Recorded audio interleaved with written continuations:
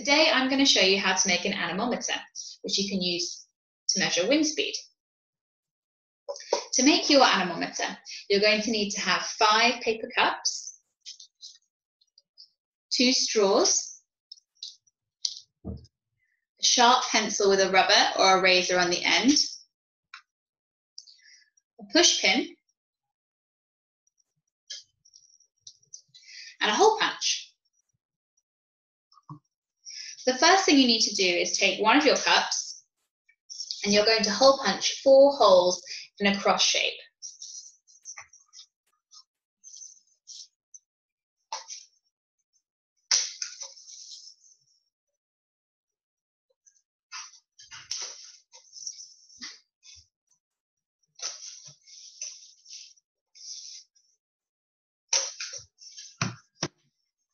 So hopefully you can see I've made those holes near the top of the cup and they're in a cross shape.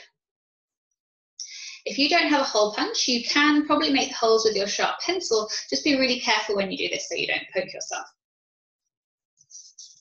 Now, once you've done that, you want to take your other four cups and um, use your hole punch again to make two holes quite close to each other near the top of the cup. I did this a bit earlier to save us some time. So I've got that on all four of my cups.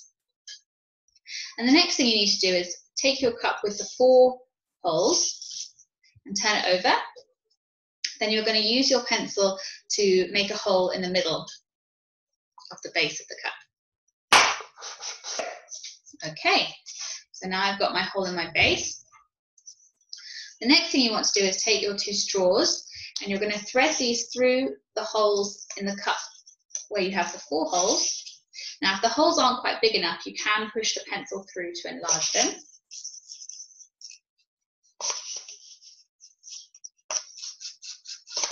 Once again, being careful. Okay, so then you thread the straws through and they're going to make a cross in the middle. So it should look like this. And then you're going to attach your other cups to the ends of these straws. Um, you want to have them all facing in the same way. So once again, I'm threading straw through the holes.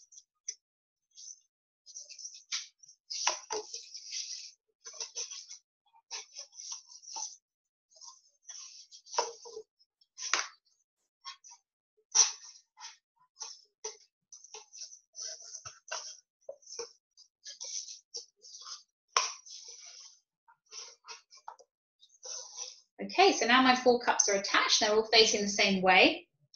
The next thing you want to do is take your pencil and push it through the hole in the, in the base of the middle cup. And you want to make sure the rubber or eraser is pointing upwards.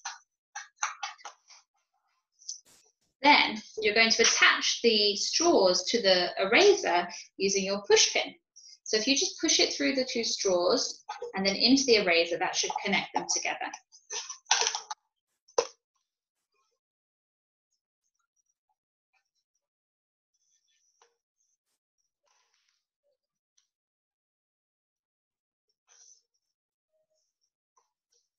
Once again, being careful with the pin.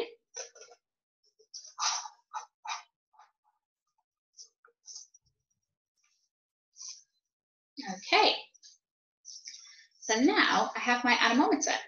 And the way that you use it to measure the wind speed is you would take it outside on a windy day and um, measure how many times the cups go all the way around in one minute. So you might need a watch or a timer on a, a, phone or a tablet to help you with this.